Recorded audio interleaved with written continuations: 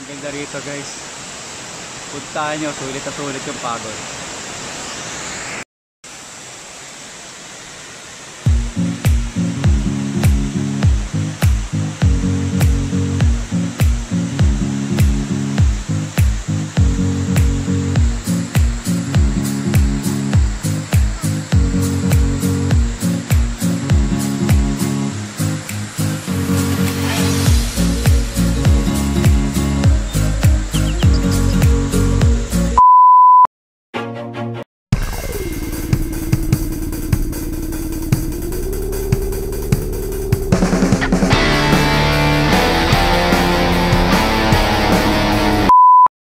Oh. Good morning mga kapadyak. Welcome back to my YouTube channel. Chris TV. Ah, kasama ko si Mr. Brian ngayon. Punta kami nga Talon Eva.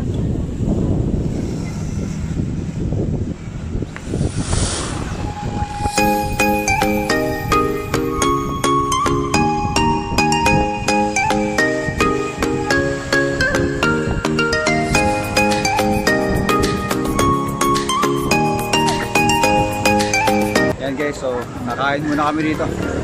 Kay Anggat.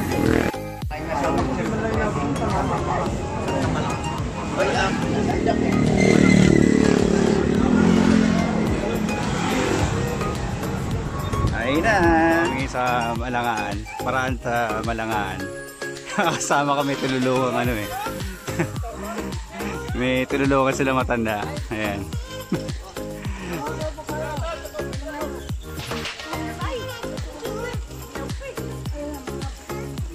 Sana makadaka kami dito sa checkpoint na Malangaan. May nangaharang dito eh. Ayan na guys. Moment of truth. dito yung ah, may nangaharang sa ano papuntang Malangaan. Tingnan natin kung makakaraan tayo.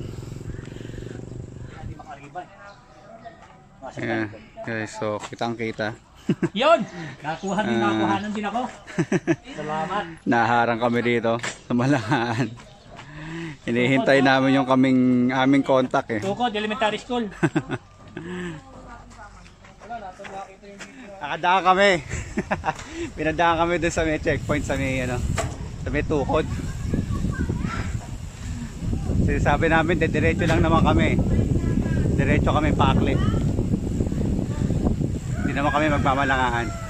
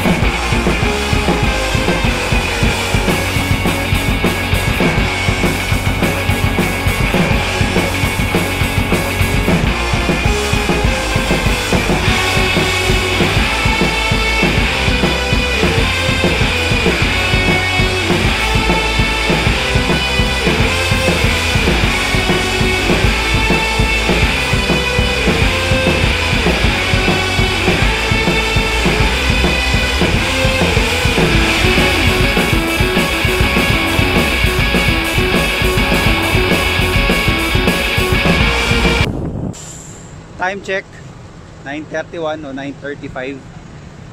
Ah, medyo medyo medyo maraming ah, delay lang ngayon kasi ah, may na-late ng gising. May naplatan, may, sinab may nasabugan ng gulong. Kasama sa ano talaga yan eh, sa group ride, pagka group ko kayong ano, pagka grupo kayong ah, magra-ride. Kasama yung mga ganyang ah, cause of delay. Dito na kami sa Barangay Akle. 7 o'clock kami umalis sa ano eh, sa bandang uh, Pulong Buhangin kanina. Yun oh. Akyat. Na-trade.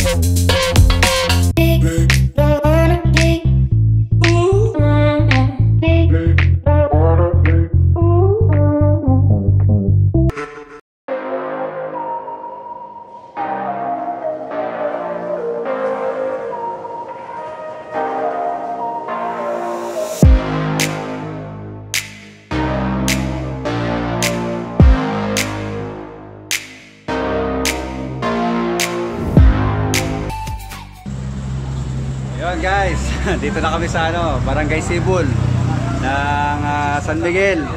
San Miguel, Bulacan. Medyo malapit-lapit na, mga tiningnan ko mga 12 kilometers na lang. Doon sa Kalayaan Elementary School. Tapos doon kami maghahanap ng ah, tour guide. Ayan, mga kasama ko. Hey, what's up? Pangalan lang malakas. Taga San Gabriel ka eh. Ayan, si Jerry Vic, yung sinapat ko yung isang araw. Ayan, taga San Gabriel. tatay niya, si Jerry. Eman.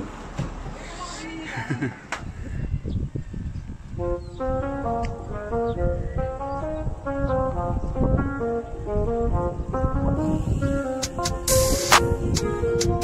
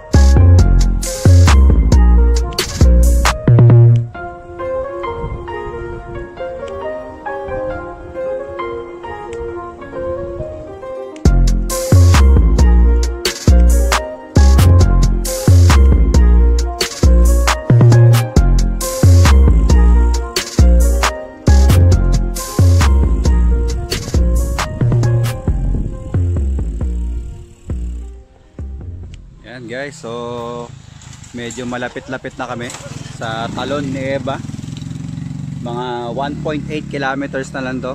Naghihintayan lang kami kasi dito sa daan na to mahati kasi yung daan. Merong sign- signage naman. So, ito kasi yan, may daan doon. Tapos meron dito. Doon kami galing. Yan, pag dinire-diretso mo yan, makakarating ka ng uh, Sibol, San Miguel. Doon kami kumain. Ayan guys, so nandito na kami sa ano, sa information desk. Information desk ng ah, Talon ni Eva, no? Ah, to, palakad na kami. Ayan sila.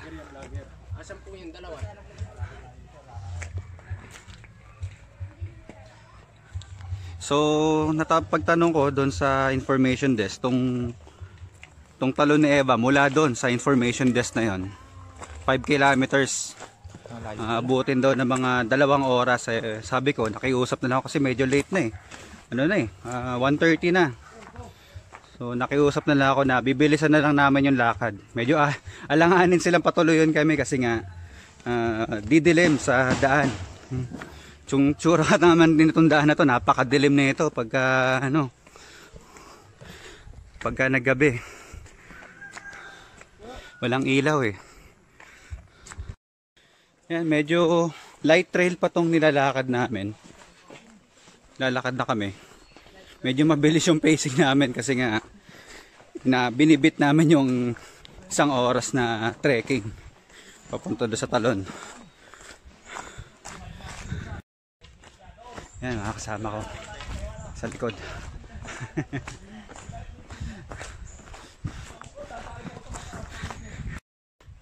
Yan, mukhang ah, magkakaroon ng ah, river crossing dito na magaganap. Mapapasya talaga sapatos natin. Kitang kita. Hallucination na naman. Ang linaw ng tubig dito. Talagang makikita mo malayo malayo ka na sa kabiasnan pagka ganito kalinaw yung tubig. Malinis na malinis.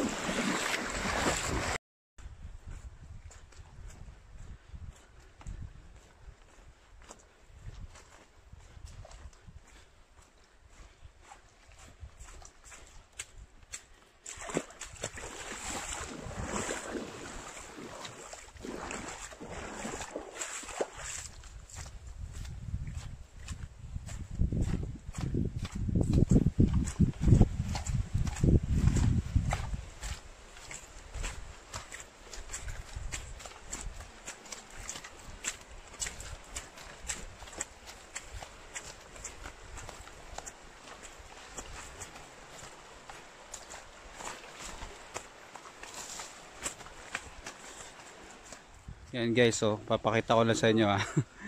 Ganyan ang pakiramdam ng mga nag-hiking. Mga nakaka 30 minutes pa lang kaming hiking, wala pa daw kami sa kalahati ng ano ng ah, papunta sa Taloneba. Papahinga lang kami, mga 5 minutes lang to tapos larga din.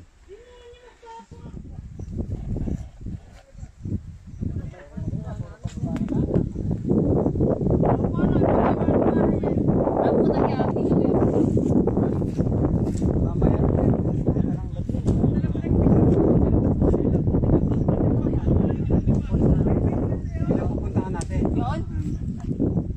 Akala ko kuya pag lusong lang. Iba namang po. Pero mas mataas yun. Kaysa dito. Kaysa sa pupuntahan natin. Di ba nasa kaya yung may 200? Guys, so merong falls nakita rito sa inakit namin bundok. Ang tawag daw ay Panunsuyan Falls. Ayun. Falls. Anong tawag ulit kuya? Panlusuyan Falls. Panlusuyan Falls. Ayun, kita dito. 200 uh, feet daw yan yung uh, falls na yan. Kung pupunta ka dyan, kailangan 3 days ka para masulit mo. Ano. Isa sa mga matitinding uh, hamon na dadaanan mo. Pagka uh, papunta ka ng Talon na Eba mula doon sa information desk kanina. Itong trekking na ganito. Madali lang naman siya daanan. Mahirap lang talaga yung yung kanina yung pakyat sa bundok. As in, ta- akit ka talaga ng bundok. Hindi naman yung tipong gagamit ka ng kamay sa pagakyat. Kung gusto mong gumamit ng lungkod, pwede rin, yung katulad ni Kuya. Pero kaya namang paahin. Pero siyempre, mas madali nga naman kung may tungkod. Kumbaga, meron kang lakas na nanggagaling sa kamay mo. Paakyat. Yan oh, ang ganda rito guys. So, may bamboo trail. Oy, pagka daw ganyan trelo. Lal lalim yan. Bangin yan.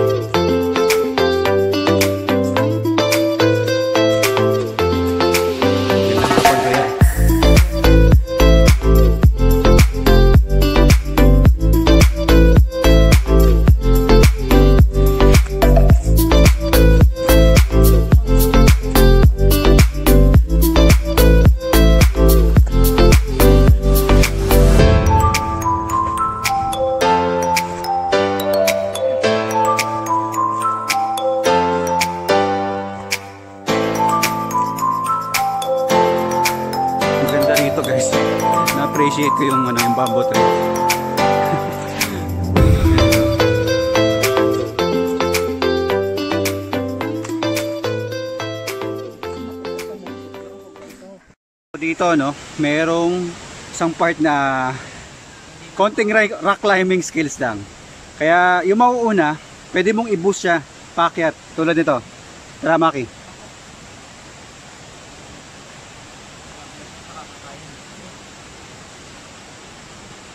Kapit. Sige, sige, kapit, kapit. Sige. Yun. Ayun, no. Abot na rito yung ano eh. Natatanaw na rito yung talon ni Eva. Hindi sila naman eh.